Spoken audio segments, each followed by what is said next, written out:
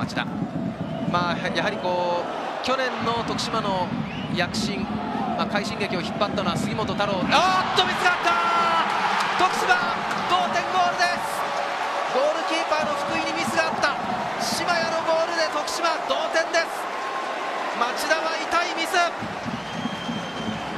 まさかまさかの同点です町田。一方の徳島ラッキーゴール。ねキーパーはい。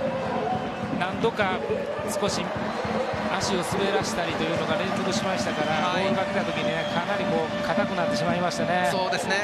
まあ、ファーストコントロールも少し、えーイメージと違ったところに行ってしまいましたから少し慌てましたね、まあ、それでも、まあ、島谷が